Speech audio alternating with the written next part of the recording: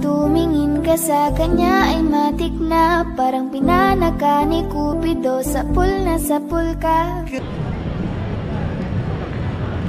Hi Philippines from Milan. Hello world from Milan. From Duomo, Milan.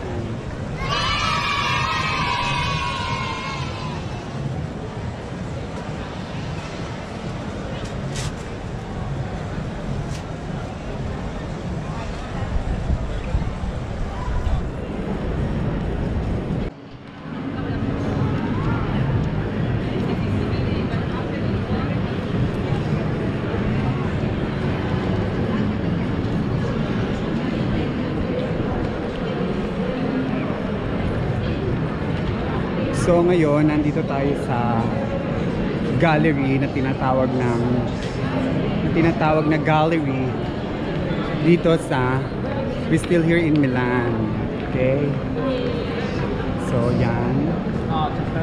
So dito nandito yung mga Chanel, mga Stefanel, mga Massimo Dutti, yung Louis Vuitton, Louis Vuitton, ganyan. So yan. Alam ko nandito rin yung Gucci. So maraming mga signature. Prada. Oh, ganun. Prada Milan. Oh.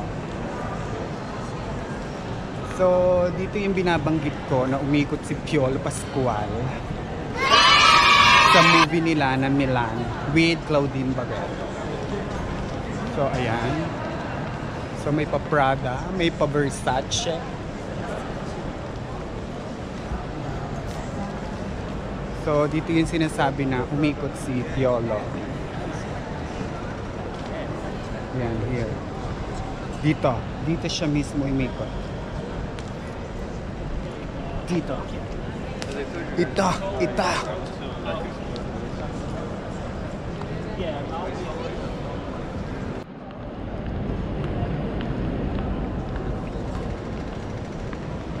Paikot, ikot.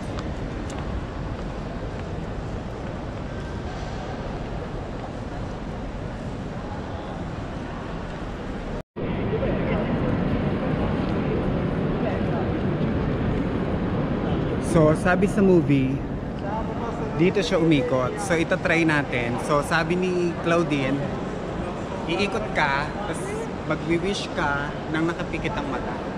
Iikot ka ng mga tatlo. So, dito,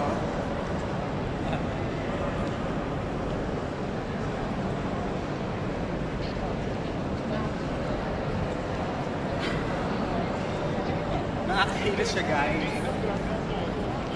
So, nahilo ako ng konti. So, iulitin ulit natin yung pag-ikot natin doon. So, tatlong beses, tat tatry natin umikot ng tatlong beses. Tapos magwi-wish. Okay, magwi-wish muna ako.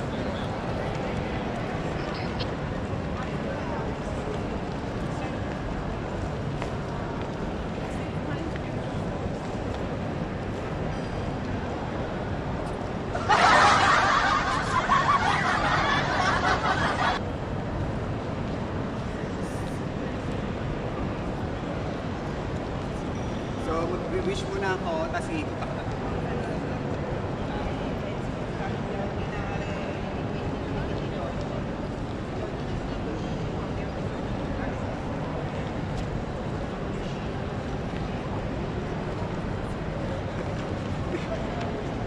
Nahihilo ako.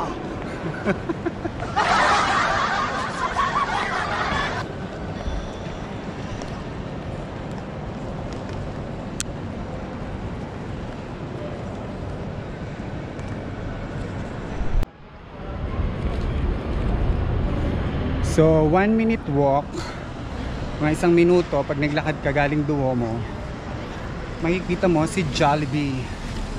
Kung saan bida ang saya. So, we are here in Jollibee, Milan. Ang nag-iisang Jollibee dito sa Milano. Marami kayong Pilipino dito. So, ito yung Jollibee dito sa Milan.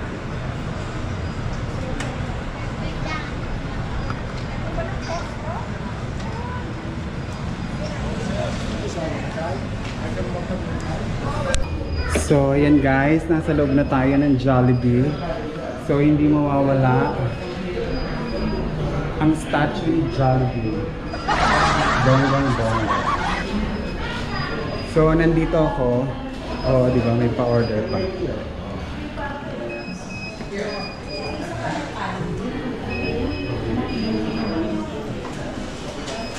So, Ushita, for sure naman, malalaman yung wala tayo sa Pinas. Dahil may Ushita tinatawag. Parang Precious Castle siya daw.